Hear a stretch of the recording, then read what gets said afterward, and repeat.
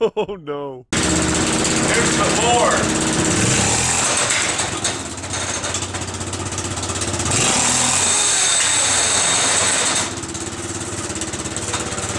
Makes me cringe, but you gotta show it, and I'm putting them pieces in anyway.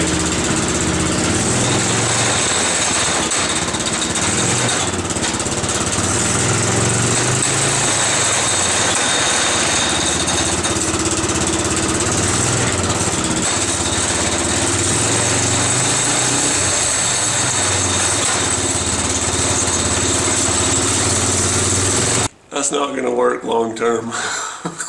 you see me? Ah! Pulling the tire.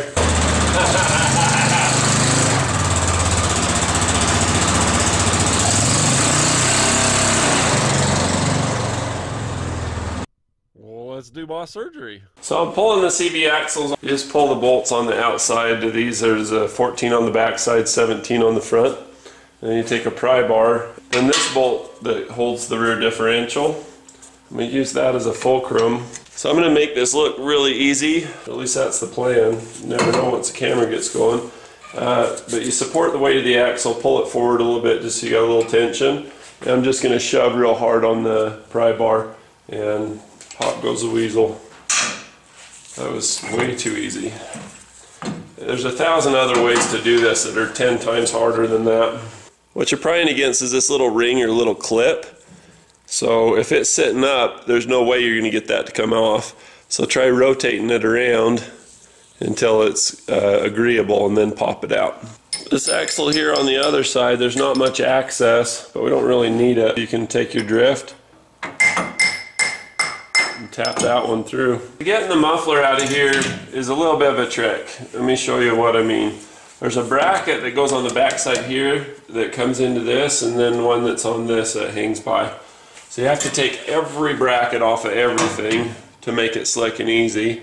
And it kind of is. So you come up to here, um, twist it around, and that'll get this bracket right here underneath of there. That's the secret right there. That's it.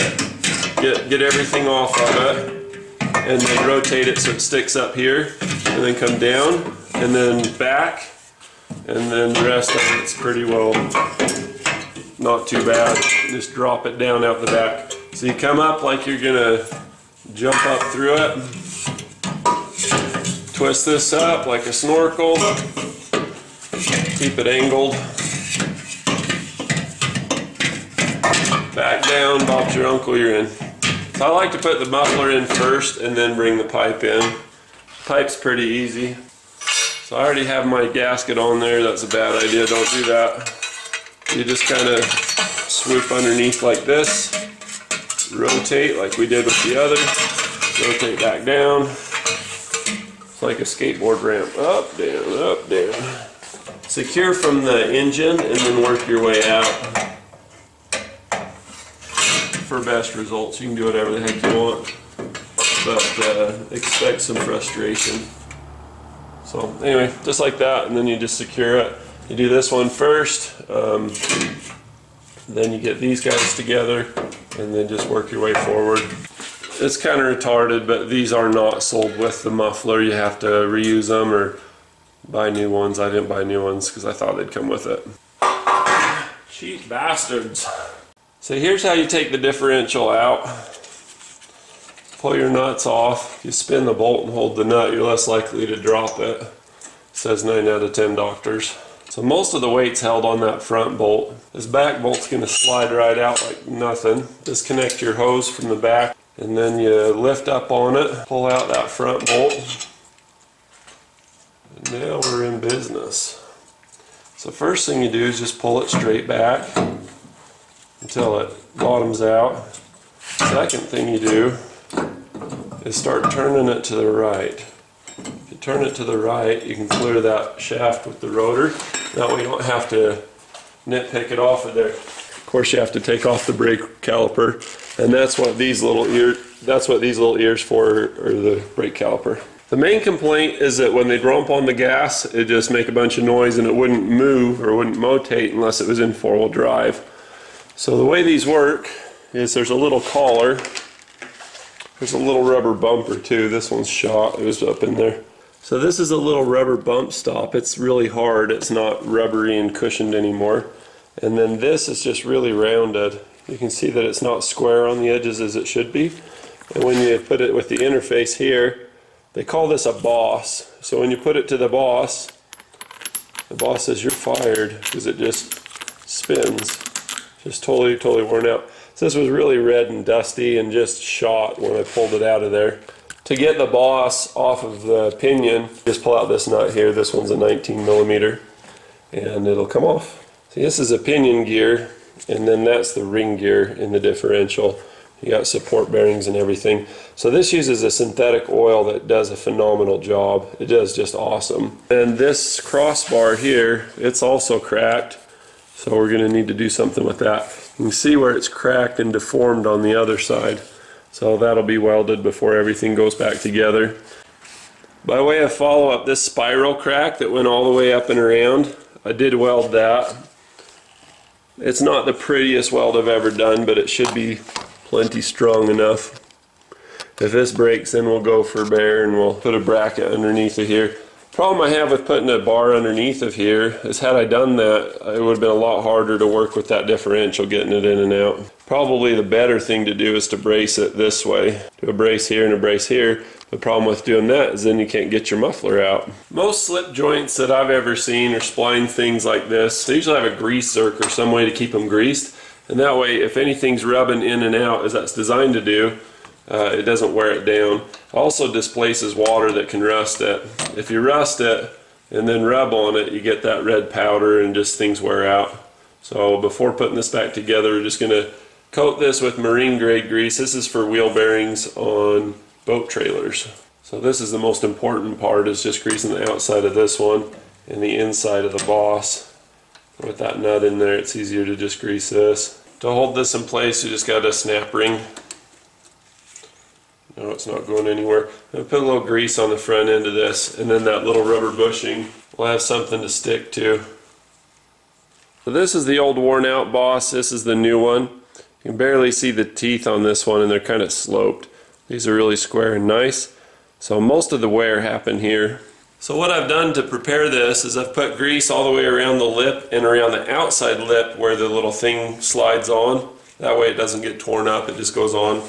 Grease the inside of these. I also grease the outer surface of this. Again with marine grade grease. You can see how this is sloped to help it to go in with the seal. We don't want to go in dry and mess the seal up. There we go. So it just goes in perfectly clean. Got our washer. You can tell that the splines were this side.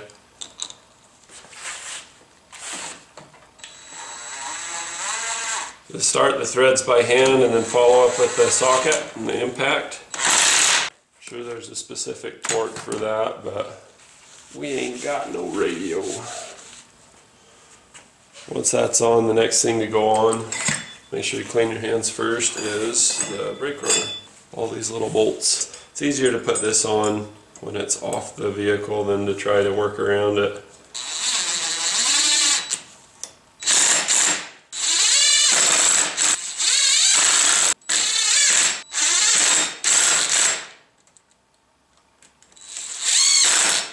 Switch to hand tightening. I'll test a few, just see where they're at. If everything's good and tight, then I'm not going to mess with it. Good practice is going on tightening in the triangle pattern, star pattern, and so everything's good. Don't have to worry. Don't gotta worry about that no more. To put this differential in, you go like this. Right hand goes through the back, left hand takes your little unit and sticks it up in there. Put your button in. You have a little grease on it, it helps to hold it. Turn the differential unit to the right until you can back it up beep, beep, beep, into the bracket space. Once you're into the bracket space, you'll find that you can rotate that rotor and the boss together with your hand. The front bolt goes in first. Just hold it up in there with one hand. Right hand comes around this side. I raise it with my pinky a little bit, just kind of juggle, do what you got to do, right? Just slip your bolts in from the side. Once the front one's in, the back one goes super easy. Take your two washers, slap them on there. Now I make this look easy. Don't expect it to be too easy, but do expect it to be possible if you tip it to the right and back up into this space right here. Those are the two keys to doing this. That and having your bolts staged, at least one of them. What I do is I put the bolts up in the frame where that exhaust bracket is. I'll show you here in just a sec. So we're in place. We'll go back through and clean that rotor with some brake cleaner. It'll have some grease on it. So where I keep my bolts is I just lay them in this little bracket thing here for the exhaust. That's the hardest part of the whole job. Aside from the exhaust, that's a little bit of a bugger too, but hey, sweet. That sounds a whole lot better already.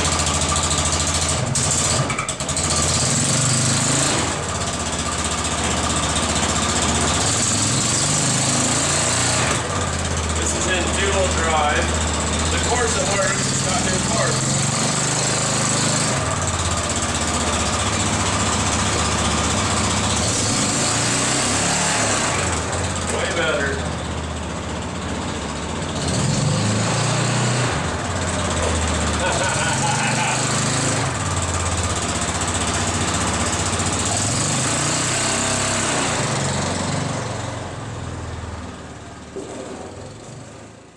Thanks for watching. Be sure to click like and subscribe. Bonus footage at the end. Looks good. One last time.